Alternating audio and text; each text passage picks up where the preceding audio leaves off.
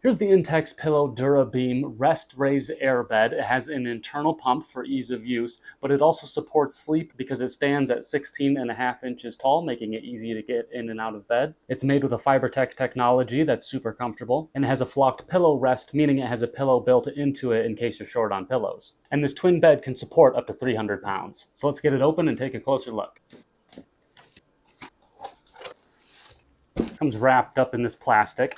Looks like it comes with a carrying case here. Looks kind of like a big laundry bag with a couple of handles and some pretty tough material. Feels like a nice sturdy plastic on the outside here a much softer velvety feel on the sleeping surface right here and a rugged underside here. Here's a look at the internal pump. It can deflate and inflate and in here is the adapter that you plug into the wall. It's a two-pronged adapter. You also have a manual input port right there in case you want to pump it by hand. And it looks like to inflate and deflate we just twist this knob like this and you can remove the pump quite easily for mild cleaning by pinching these tabs here, rotating, and pulling it out and it's just as easy to reinsert.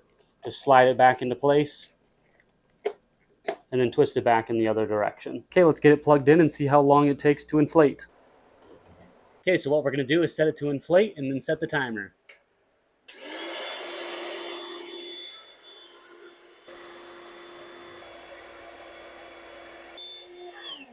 So there you go, under two minutes, and that one's totally filled up. So it's quick to inflate, and it's big enough for someone who's six foot one. I like the raised rest back here as well. Kind of acts like a pillow if you don't have one. It's a nice soft material, and I like how high off the ground it is. Makes it much easier to get in and out of bed than some other mattresses, which are half this size. Feels durable, and I think it makes a good option for a backup bed for one person. Okay, we're gonna set the Intex mattress to deflate, and then we're gonna start our timer. So here we go, see how long it takes to deflate.